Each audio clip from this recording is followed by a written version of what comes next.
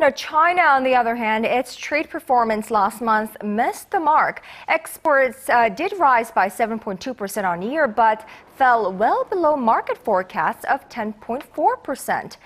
Imports were up 5.5%, but missed market expectations by 0.5 percentage points.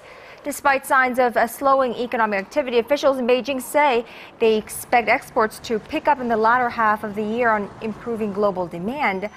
But economists are less bullish. They say the recovery is likely to remain listless unless stimulus measures are introduced to boost domestic demand there.